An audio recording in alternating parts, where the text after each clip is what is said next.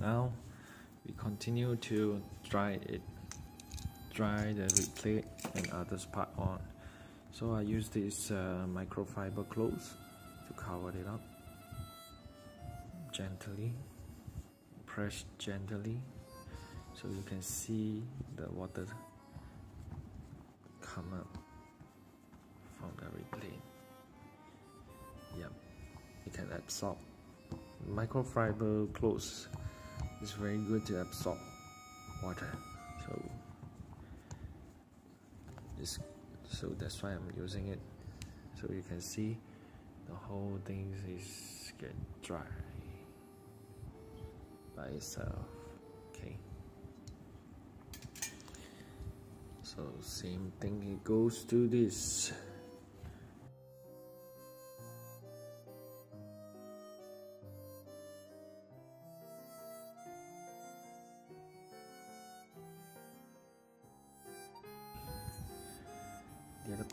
is very easy to dry it so uh, just use the clothes to wipe it if you do.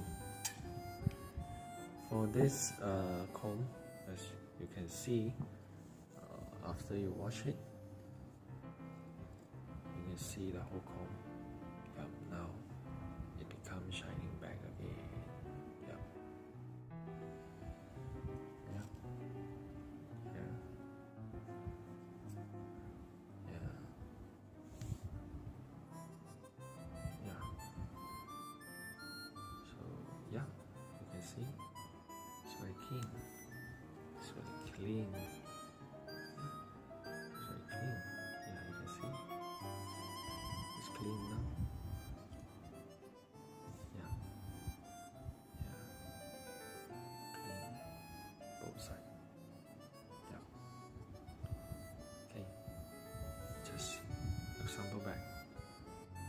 Now you can see the top plate.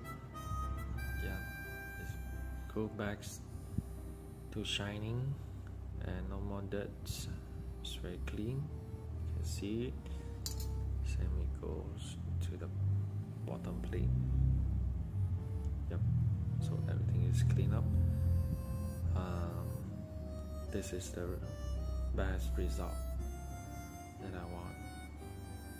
So to dry up the whole comb faster, I used to use the hair dryer. Yeah, use the hair dryer to blow it. Just opening up the hair dryer. Yeah, the distance is about one and a half feet away. Just blow blow on it both sides and you can dry immediately. Yeah. Don't do it too near. Don't do it too near. If you too put it too near the comb will damage. It's very hot yeah. Just uh, one and a half feet away about one and a half feet away. Full blast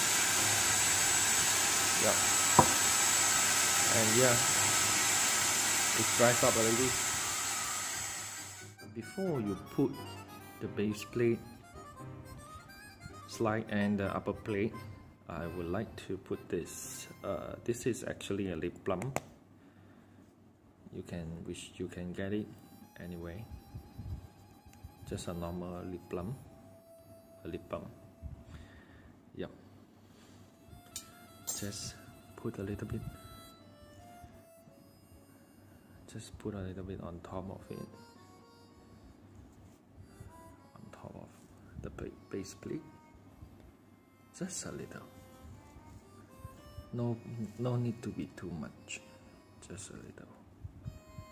To have some grab and grease effect. Yeah both side. Just pull a little on it. Just a little.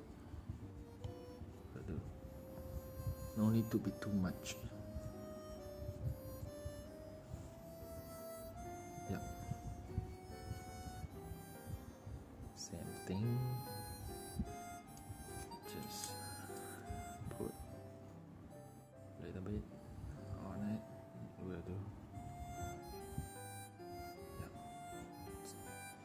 just a little bit. You can feel it. That's a little bit sleep sleepy and this lip balm is doing a very good job. This is the bottom plate. So I put a little same thing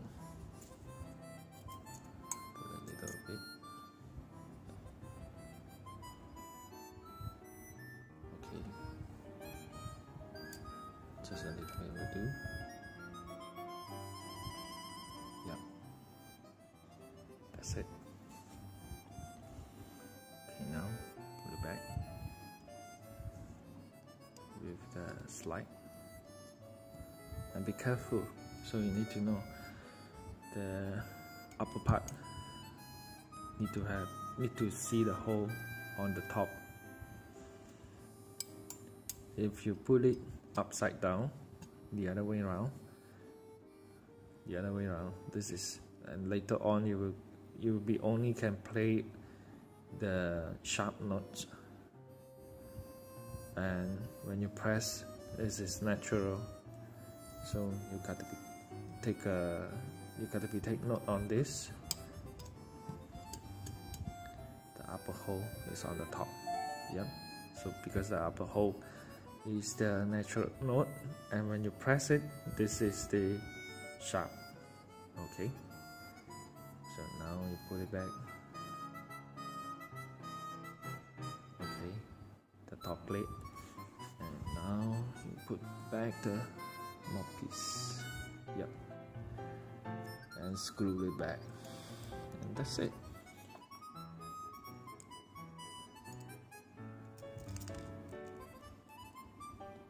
just screw it back. Ready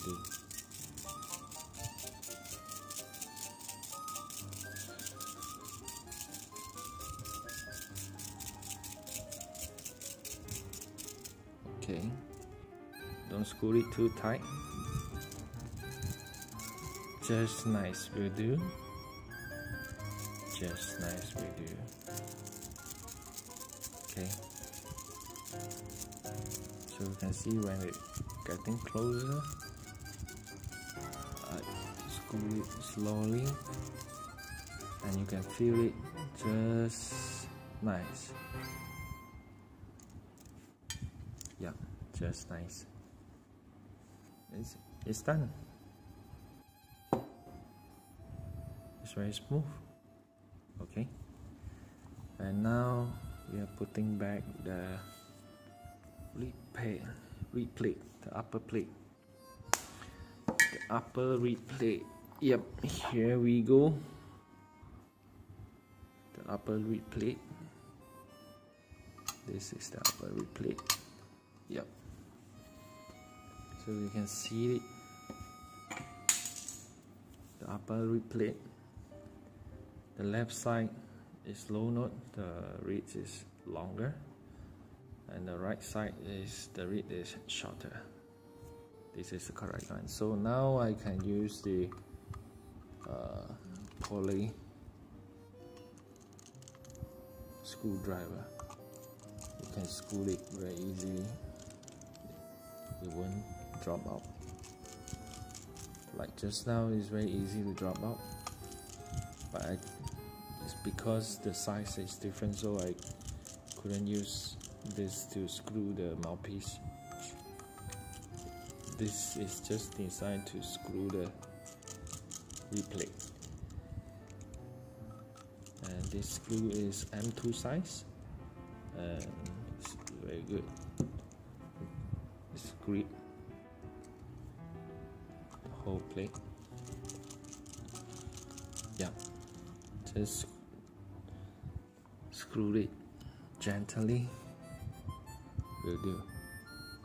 no need to be hard no need to be too hard so when you put back the screw you need to be careful. It has to be straight enough. Then only you turn it to screw it. Or else if the screw get broken inside the holes it will have a very difficulty to to to uh, unscrew it out to take it out yeah, same goes to the bottom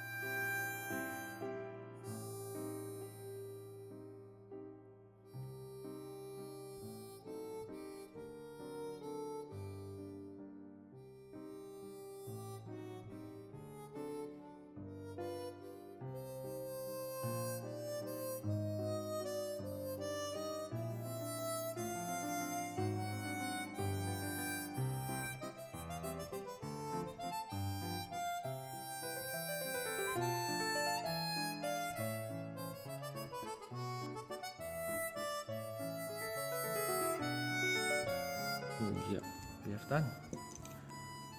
Yeah. The upper and the lower wood plate.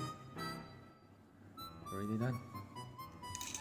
So now putting back the cover plate.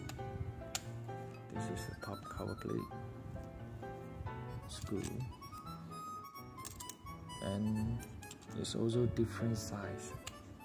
So I have to use the normal screwdriver to screw it back.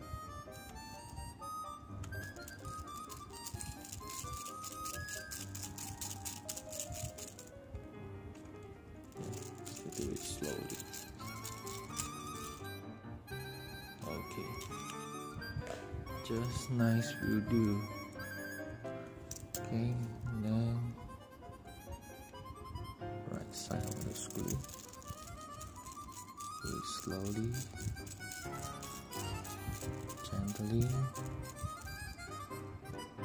Okay, just nice. And this is the bottom cover plate. Yeah.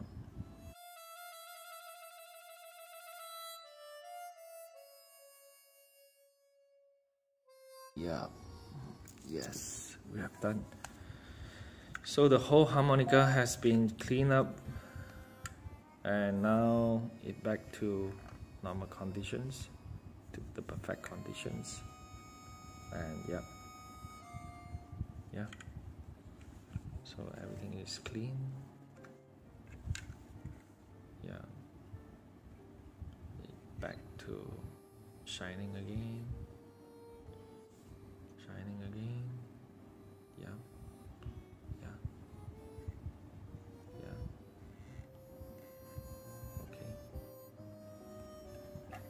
so this is how I maintain the silver harmonica. So I hope you enjoy it. If you have uh, any questions uh, feel free to ask and I will try my best to answer. And I hope this video helped you and you could uh, do your own maintenance easily and know how to maintain your harmonica in a very perfect well conditions. So every time when you play it it doesn't have any issues and yeah it can it will long long last forever. Yeah. Okay. Thank you so much for watching. Thank you